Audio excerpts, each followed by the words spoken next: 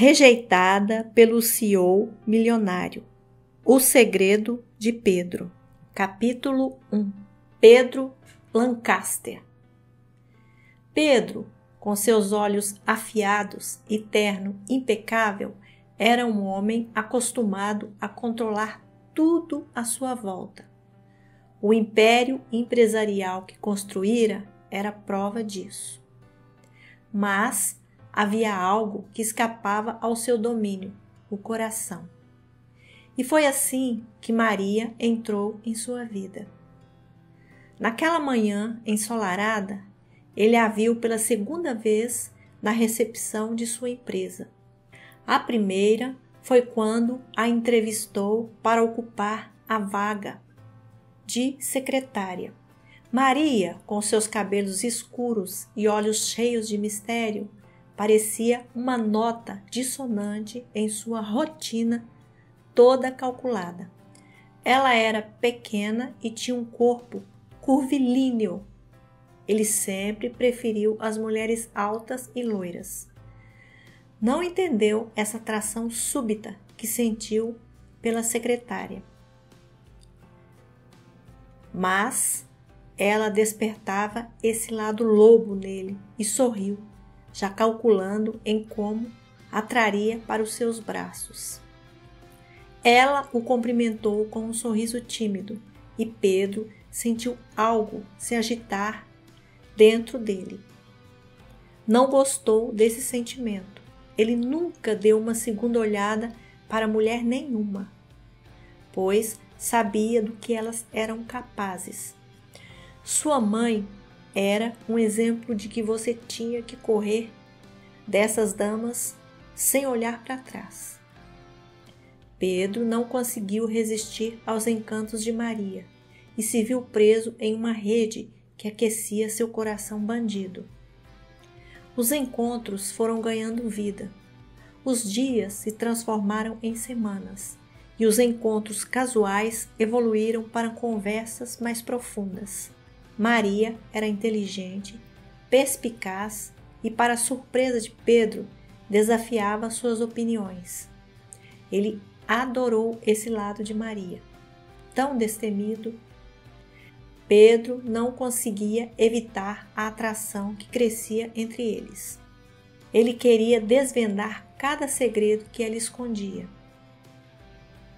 Pedro queria mais dessa mulher incrível um dia, no terraço de sua cobertura, com o sol se pondo ao fundo, Pedro finalmente se rendeu aos encantos de Maria.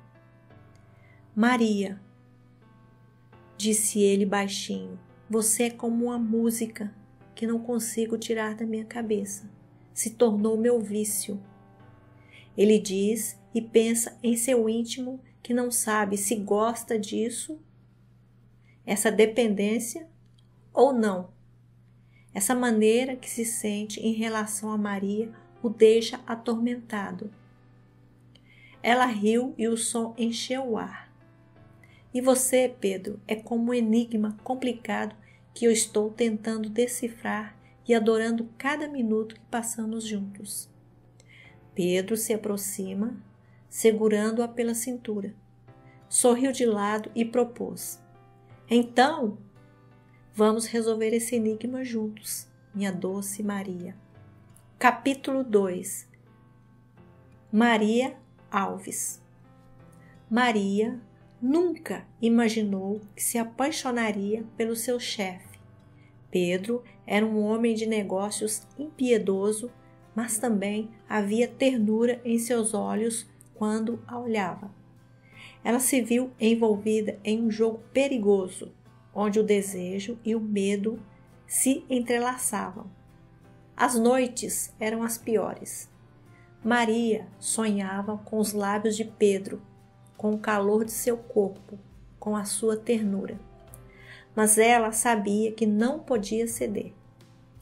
Afinal, ele era um Lancaster e sabia perfeitamente que esses momentos maravilhosos que passavam juntos teria um fim. Acreditava em seu coração que esses dias estavam contados. Já havia visto em inúmeras revistas Pedro Lancaster com modelos lindas e famosas. Seria uma questão de tempo ele mandá-la passear. Mas doía pensar nisso. Quem sabe ele não agiria diferente de seu histórico comigo? Ela fechou os olhos e resolveu ficar com o que a vida estava dando a ela naquele momento. Pedro era o homem de sua vida e aproveitaria enquanto pudesse. Viveria esse conto de fadas com todas as forças do seu coração apaixonado. Então, quando Pedro a convidou para um jantar, ela aceitou com o coração aos pulos. A noite fluía, os violinos tocavam e Maria se perdeu neste mundo encantado. Enquanto dançavam ao som de uma música suave, Pedro a beijou e o mundo desapareceu como no passe de mágica. Os momentos mágicos ficariam eternizados na cabeça de Maria para sempre. Naquela mesma noite, eles se tornaram um só. Maria, sussurrou Pedro enamorado. Você trouxe cor ao meu mundo, querida. Beijou seu rosto com carinho. Nunca, Maria, jamais minta para mim. Promete? É a única coisa que te peço de todo o meu coração. Maria acenou e prometeu nunca mentir para ele. Eles se beijaram e a lua era testemunha desse amor tão terno e doce. Capítulo 3 Pedro Os dias passaram e Pedro estava completamente rendido ao amor por sua doce Maria.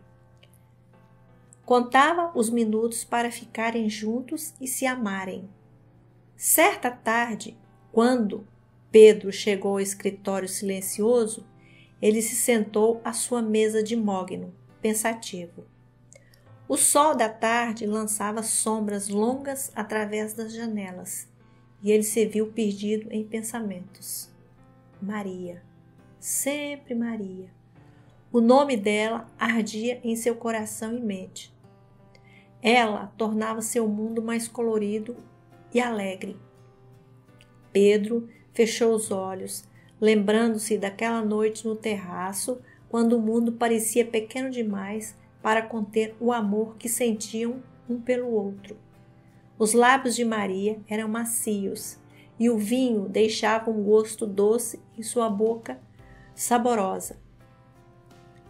Ele a queria mais do que jamais quisera qualquer outra mulher em sua vida. Seu celular apita, tirando-o de seus pensamentos. Uma mensagem chegou, anônima. Desconhecia o número, mas, quando Pedro leu, seu coração disparou, congelou e seu semblante endureceu. Lembrou-se de sua mãe e odiou-se ainda mais por se deixar enganar como seu pai foi enganado pela sua megera mãe. Releu a mensagem, acusando Maria de traição. Releu novamente, ela o estava traindo. Seu mundo estilhaçou, seu coração quebrou e seu mundo sangrou. Pedro ficou a tarde toda relendo e remoendo essa mensagem com ira no coração.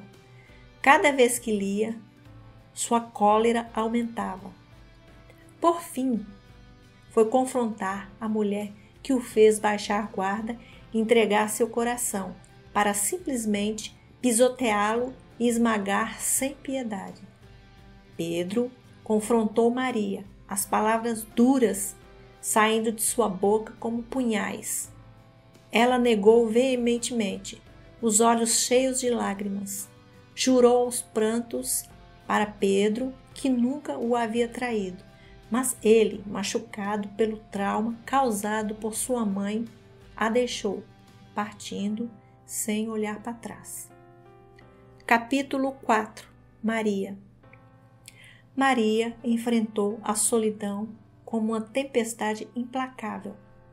Cada dia era uma batalha contra a saudade, contra o vazio que Pedro deixara em seu coração.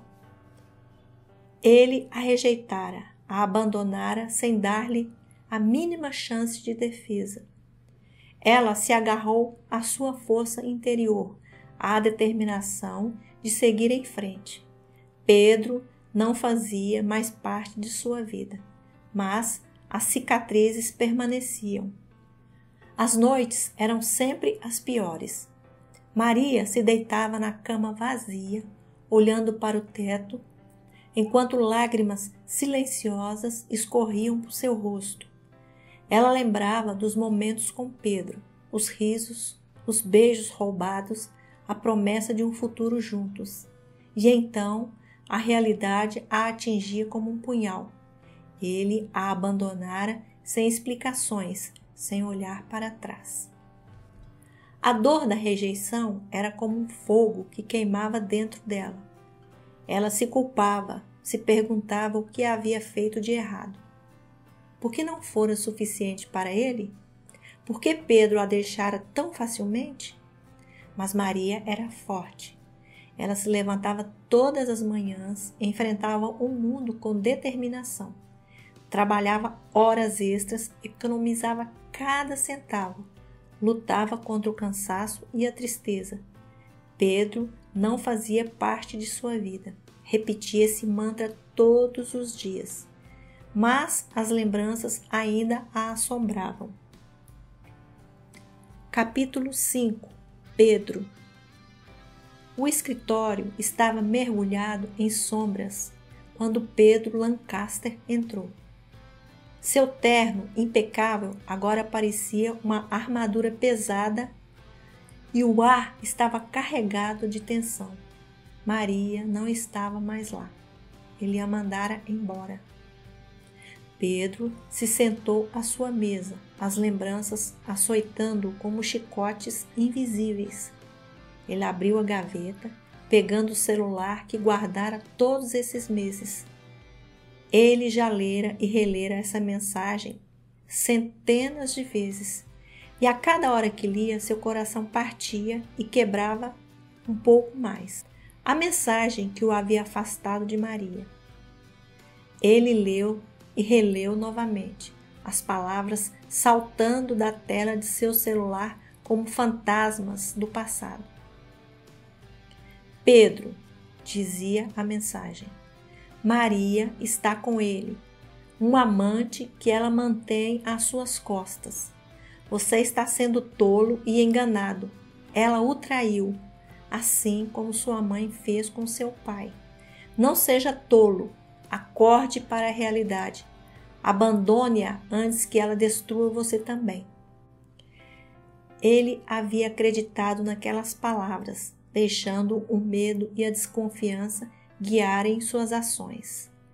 Mas depois de quase um ano, pensando e analisando tudo que passaram juntos, ele viu que agiu precipitadamente. Olhando para trás, agora, ele percebia que o erro que cometera era gravíssimo. Ele julgou e condenou a mulher de sua vida, baseado em uma mensagem de uma pessoa que ele não sabia quem era e baseado na traição que presenciou entre seus pais. Sua mãe traía seu pai praticamente todos os dias. Maria era diferente de sua mãe. Ele tinha certeza disso agora. Deveria ter dado a chance de Maria se explicar. Pedro engoliu em seco com sua constatação, ainda que tarde demais. Maria não era como sua mãe. Ela era forte, determinada, fiel, honesta e tinha certeza que Maria o amava de verdade. Pedro se levantou em um salto, com o celular ainda em mãos. Ele precisava encontrá-la. Ele precisava implorar por seu perdão. Ele amava Maria mais do que jamais amara qualquer outra mulher em sua vida. Aliás, ele nunca amara outra mulher, somente Maria. E estava disposto a rastejar, a se humilhar, a fazer o que fosse preciso para tê-la de volta à sua vida. Detetives a acharam em uma pequena cidade do interior depois de meses procurando. Pedro dirigiu para lá por horas, ansioso, aflito e nervoso. Precisava do perdão de Maria. Precisava dela de volta em sua vida. Ele a encontrou no parque, olhando para o horizonte. Seus olhos estavam vermelhos, mas ela não chorava. Maria sempre fora assim uma fortaleza de emoções contidas. Como julgara tão mal a única mulher que amou? Maria, disse ele, a voz rouca, eu estava errado. Eu deveria ter confiado em você. Me perdoe, meu amor, eu te suplico.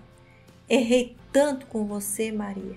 Te imploro que me dê a chance de me explicar, coisa que não dei a você mas te peço com toda a humildade do meu coração. Ela se virou para encará-lo, os olhos cheios de dor. Você me machucou muito, Pedro. Você me abandonou, me mandou embora, não me deu oportunidade de me explicar.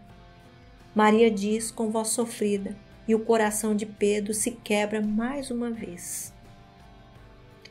Ele se ajoelhou diante dela, chorando, e entregou o celular para ela ler a mensagem. Eu sei que não justifica minha atitude covarde com você, Maria, mas eu recebi essa mensagem há meses atrás, uma mensagem anônima. Eu sou um homem traumatizado por ver minha mãe traindo meu pai e ele, um homem fraco, sofrendo e nunca dando fim a essa relação doentia, Maria. Eu jurei a mim mesmo que nunca passaria pelo mesmo. Minha mãe, ela traía meu pai sem peso na consciência. Ela o tornou um homem fraco. Eu não queria passar por tudo que ele passou, Maria. Sei agora que agi imaturamente, precipitadamente. Eu te peço todo o meu coração, me perdoe. Eu te suplico e prometo a você passar a minha vida consertando esse erro que eu cometi com você, minha amada. Maria o olhou fixamente e ele viu a luta em seus olhos.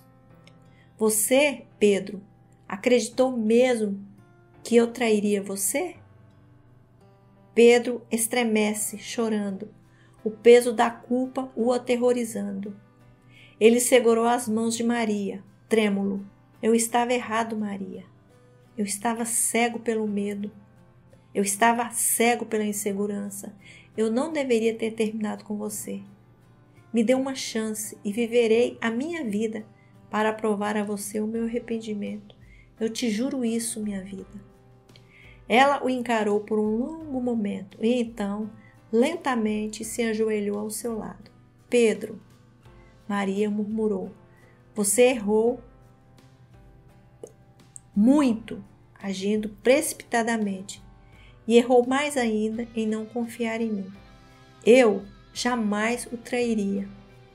Coloque na sua cabeça: eu não sou sua mãe. Eu te perdoo dessa vez, mas não haverá outra. Podemos deixar o passado no passado e seguir daqui para frente, porque eu te amo verdadeiramente. Pedro soltou um grito de felicidade e a abraçou, as lágrimas caindo em abundância por seu rosto. Mas ele não se importava. O que realmente contava era que Maria, seu amor, o havia perdoado e ele viveria para manter e preservar essa confiança que recebeu dela enquanto vivesse. Eu te amo tanto, Maria. Por favor, mais uma vez eu te peço, me perdoe e prometo a você novamente nunca mais duvidar de seu amor. Pedro beijou a mulher de sua vida com todo o amor que sentia por ela. E naquele momento, Pedro soube que fez a escolha mais acertada de sua vida: trazer Maria de volta para o seu mundo. Na verdade, ela era seu mundo. Epílogo Pedro O sol brilhava no céu, pintando o horizonte de tons dourados. Pedro Lancaster estava nervoso, as mãos trêmulas enquanto ajustava a gravata. Ele olhou para o espelho e viu o reflexo de um homem que havia percorrido um longo caminho, um homem que havia cometido erros, mas também aprendido a ser humilde. Maria estava do outro lado da porta, escondida atrás do véu.